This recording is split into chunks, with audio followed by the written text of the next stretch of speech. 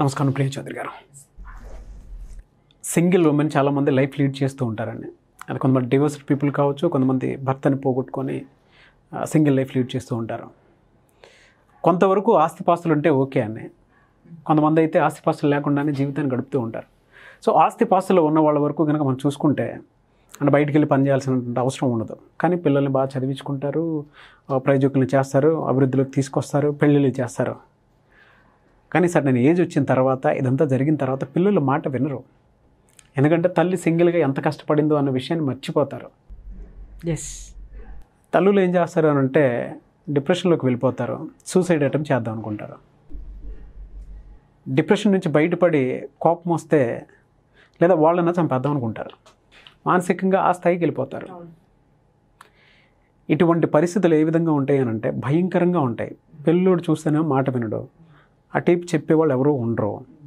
పోనీ ఎవరికైనా చెప్పుకుందాము అని అంటే పరిస్థితులు దానికి తగ్గట్టుగా ఉండవు. చుట్టుపక్కల సమాజం ఏ విధంగా తీసుకుంటుంది అనేది కూడా ఒకటి ఉంటుంది.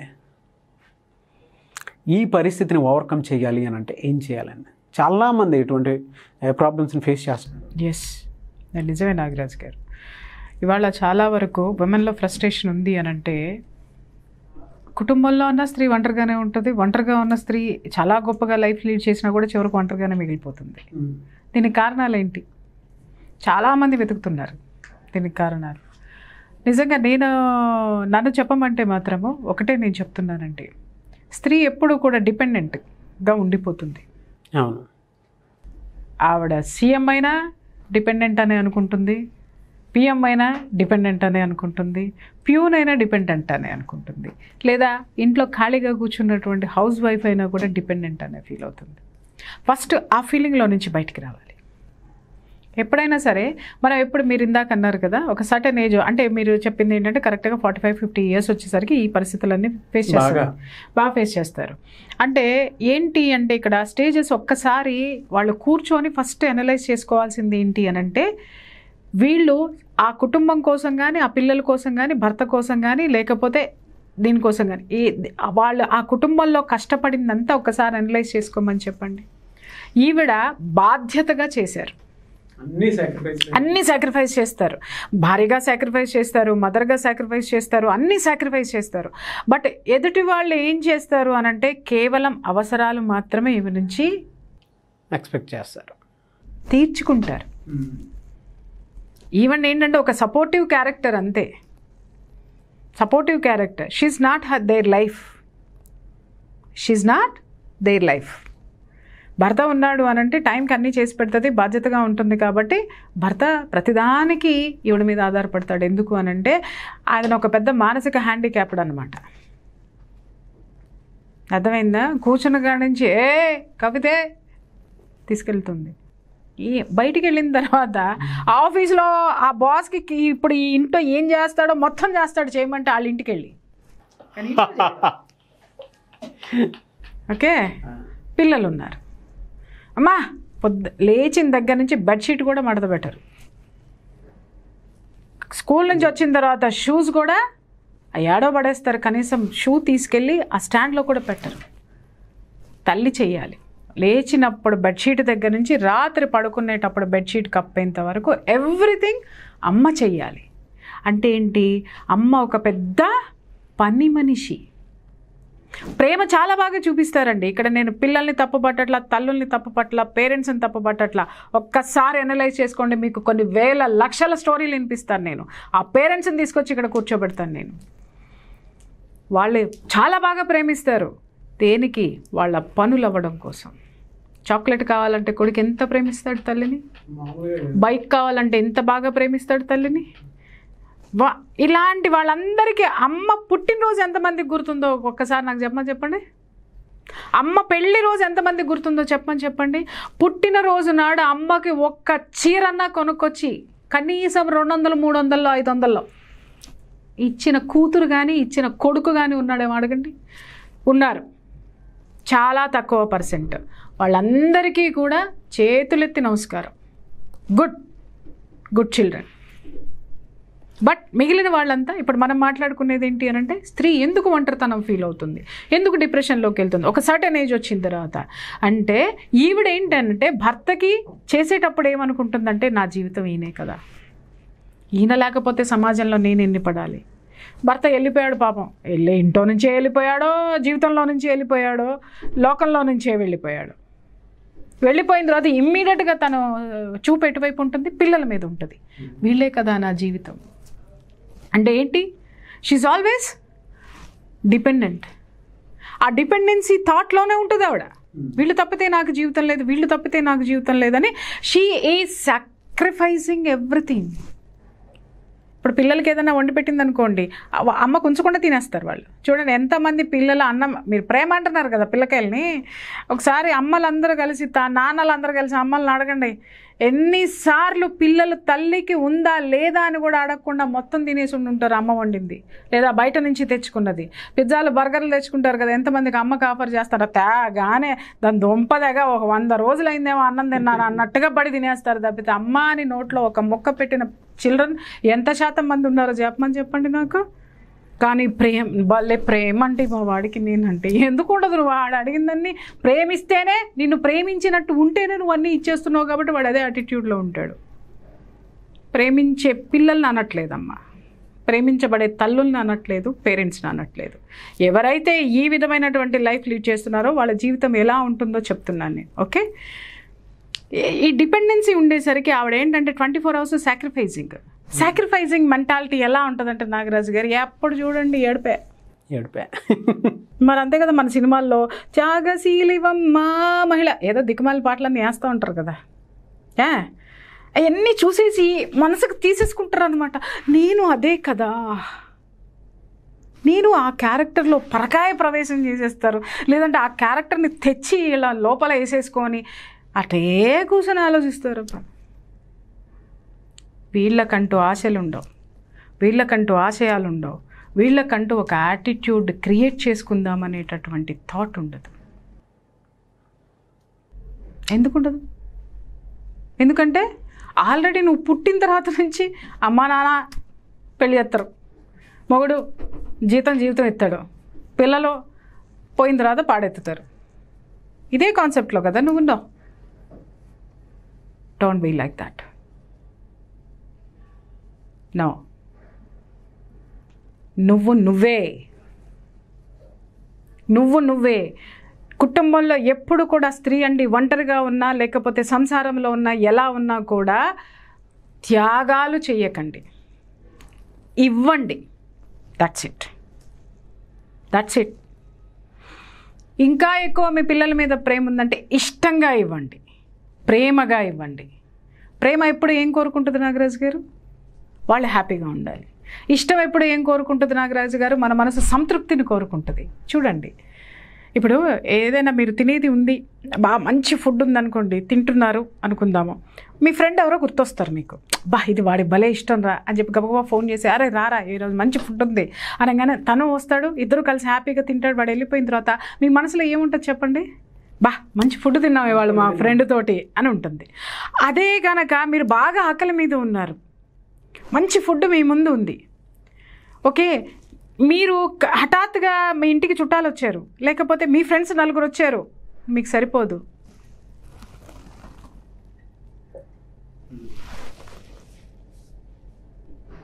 ఫీలింగ్స్ భలే ఉంటాయి కదా మనకి. అంటే ఆ ఫుడ్ మీద మనం తినాలి. కానీ త్యాగం. మనకి మంచి పేరు రావాలి. అరే నువ్వు తినరా? ఏ లేదురా. నువ్వు తిను నువ్వు తిను. అంటే వాటి నుంచి మనకు మంచి పేరు రావాలి. పేరు రావాలి. దానికి మనం ఏం పెట్టుకుంటాం? త్యాగం. అంటే ఫుడ్ గురించి చెప్పా చాలా ఇస్తారు బా. ఈ త్యాగంలో. ప్రేమ ఈ దోమ ఏందో ఉంది. ఆ? అది తిని వెళ్ళిపోయిన తర్వాత మీ మైండ్స్లో ఏముంటుంది చెప్పండి? బాధ. మంచి బిర్యానీ తినలేకపోయానే అన్న బాధ. వాడు బాగా తినేసి వెళ్ళిపోయినాడే అన్న బాధ. ఎవడు చేయమన్నాడు త్యాగం? ఇంకో ప్యాకెట్ తెచ్చి ఆడ పెట్టండి త్యాగం ఎందుకు చేస్తున్నారు? లేదు వాడు పోయిన తర్వాత తిన్నాడు బిర్యానీ. ఎవడిచ్చేమన్నాడు మొత్తం? అది తేడా. త్యాగానికి ఇష్టానికి. ఇక్కడ ఎందుకు డిప్రెషన్లోకి వెళ్తుంది స్త్రీ అంటే త్యాగాలు చేస్తుంది. దిక్కుమాలిన త్యాగాలు. చేయొద్దు. అవసరం లేదు.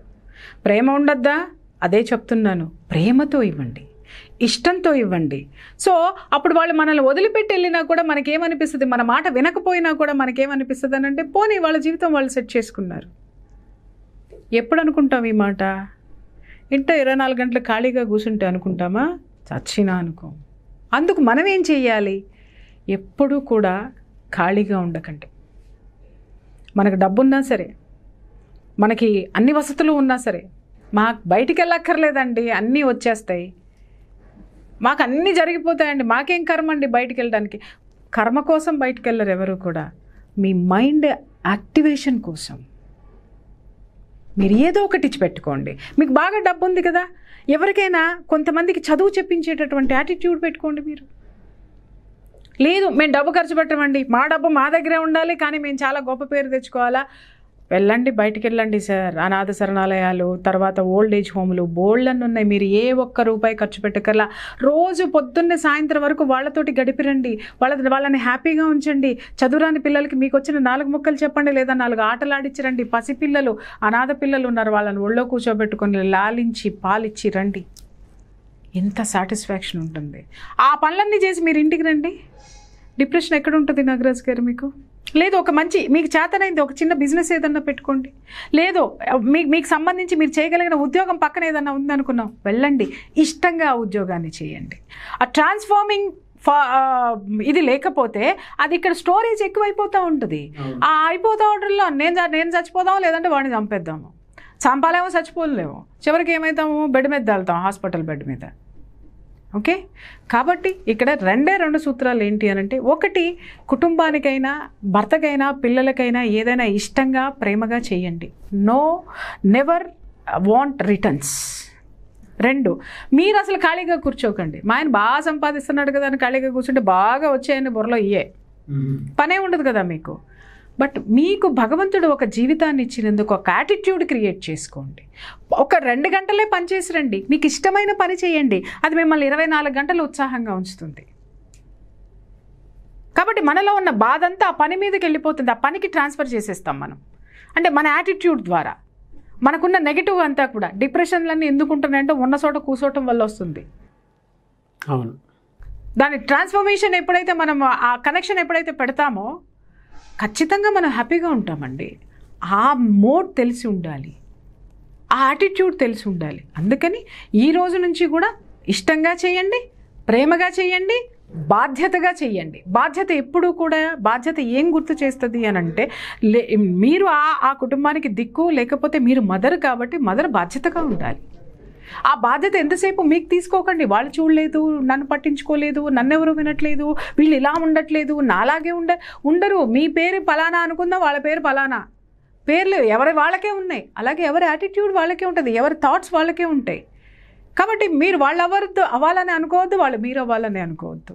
మీకు ఎప్పుడైతే వాళ్ళలో ఇమడలేరో దాని నుంచి బయటికి ఎలా రావాలి? అంటే ఆలోచనల నుంచి బయటికి రావాలా? ఇంట్లో నుంచి బయటికి రావాలా? అదే ఆలోచన. ఇంట్లో నుంచి మనం బయటికి రాలేమన్నప్పుడు ఆలోచనలు బయటికి పంపించేసేయాలి. ఆలోచనలు బయటికి పంపించాలంటే మనము మనకి నచ్చినటువంటి పని మీద కాన్సన్ట్రేట్ చేయాలి. ఏదో ఒకటి ఇంట్లో నలుగురు ఆడవాళ్ళని చుట్టుపక్కల ఉన్న ఆడవాళ్ళని కలిపి కూర్చోబెట్టి ఏదో ఒక చేయండి ఆలోచించండి. సమాజానికి ఉపయోగపడే పని చేయండి. సమాజం మాకు వద్దులేండి అని అంటారు. నాలుగు డబ్బులు వచ్చే పని మీరు చేయండి. మంచి పనులు బోల్డన్ని ఉన్నాయి డూ దట్ అంతేగాని కేవలం ఈ ఒక్క సీక్రెట్ తెలియకే ఈ డిప్రెషన్స్ వస్తున్నాయి నాగరాజ్ గారు. టు బి ఫ్రాంక్ ఇప్పుడు నేను రెండు రోజులు ఇంట్లో కూర్చున్నానంటే నాకు నరాలు ఇట్లా తెగిపోతాయి నాకు. ఆ మెదడు ఉంటుందో లేదో కూడా అసలు పగిలి బయటకు వస్తుందేమో అన్నంత స్ట్రెస్ నాలో ఉంటుంది. అదే ఆ స్ట్రెస్తో ఉన్న వాళ్ళకి కౌన్సిలింగ్కి వస్తే మీరు బ్రహ్మాండంగా చెప్తాను అసలు వాళ్ళకి. How to transformation the stress attitude me attitude తోటి ఆన్లైన్ ఆఫ్లైన్. ఏదన్నా బోత్ బోత్ కాంటాక్ట్ చేయండి. డెఫినెట్గా ఇది ఒక అద్భుతమైన సబ్జెక్ట్ అండి. తెలుసా మీకు? ఇది ఒక్కటి తెలిస్తే మీకు ఉన్న సర్వ రోగాలు మాయమైపోతాయి నిజంగా చెప్తున్నా. నేను కొన్ని ఉదాహరణలు ముందు ముందు నాగరాజు గారు నేను కొన్ని ఉదాహరణలు తీసుకుని కూడా ఈ ఈ యొక్క ఈ స్ట్రెస్ ట్రాన్స్ఫర్మేషన్ పెట్టుకొని మన యొక్క యాటిట్యూడ్ని మార్చుకుంటే ఎవరెవరు ఎంత గొప్ప ఎంత భయంకరమైనటువంటి రోగాల నుంచి బయటపడ్డారు ఎంత భయంకరమైనటువంటి ఫ్యామిలీ సిచ్యుయేషన్స్ నుంచి బయటపడ్డారు ఇవన్నీ నేను మీకు మంచి సబ్జెక్ట్ ఇస్తాను నేను. డెఫినెట్లీ చూసారు కదండి వీడియో? సో ఇటువంటివి మీ జీవితంలో కనుక జరుగుతూ ఉండి ఉంటే కింద కామెంట్ బాక్స్లో పోస్ట్ చేయండి. లేదా సో మీకు తెలియనటువంటి కొన్ని సమస్యలు ఉంటాయి అంటే సొల్యూషన్స్ కోసం వెతుక్కునే సమస్యలు కొన్ని ఉంటాయి సమస్యల చట్టంలో మీరు కనుక ఇరుక్కుపోయి ఉంటే మిస్టర్ నాగ్ అఫీషియల్ అని నా ఇన్స్టాగ్రామ్ ఐడి ఉంది. దాన్ని ఫాలో అవ్వండి. సో పర్సనల్గా దానికి మీరు మెసేజ్ పెట్టినా నేను వీడియో రూపంలో ఖచ్చితంగా సొల్యూషన్ అంటే మాకు అనిపించేటువంటి ఒపీనియన్స్ ఏవైతే ఉంటాయో అవి మాత్రం చేయగలుగుతాం నేను ప్రియా చౌదరి గారు. అండ్ మీరు ప్రియా చౌదరి గారి క్లాసెస్కి కానీ ఆన్లైన్ అవ్వచ్చు ఆఫ్లైన్ అవ్వచ్చు లేదంటే కౌన్సిలింగ్ అవ్వచ్చు. అండ్ ఈ మంత్ ఎండ్లో అయితే క్లాసెస్ ఉన్నాయి. అండ్ ఎవ్రీ వీక్ క్లాసెస్ అయితే జరుగుతూ ఉంటాయి. అండ్ చాలామంది అనుకుంటూ ఉంటారు. అపార్ట్మెంట్లో కానీ లేదంటే స్కూల్స్లో కానీ కాలేజెస్లో కానీ ప్రోగ్రామ్స్ జరిగేటప్పుడు సో ఒక బ్యూటిఫుల్ మోటివేషన్ అండ్ లైఫ్కి సంబంధించినటువంటి కొన్ని మోరల్ వాల్యూస్ అటువంటివి నేర్పించాలని అనుకుంటూ ఉంటారు లేదంటే తెలుసుకోవాలని అనుకుంటుంటారు సో అటువంటి వాళ్ళు కూడా ఖచ్చితంగా ప్రియా చౌదరి గారి సంప్రదింపుల కోసం చూస్తున్నట్లయితే ఆసక్తి కలిగిన వారు ఎవరైనా సరే స్క్రీన్ మీద కనిపిస్తున్నటువంటి నెంబర్కి మీరు వెంటనే సంప్రదించండి. అండ్ ఈ వీడియోపై మీ అభిప్రాయం ఏదైనా సరే కింద కామెంట్ బాక్స్లో పోస్ట్ చేయండి. ఖచ్చితంగా వాటిపై మేము వీడియోలు చేయడం జరుగుతుంది. Thank you so much.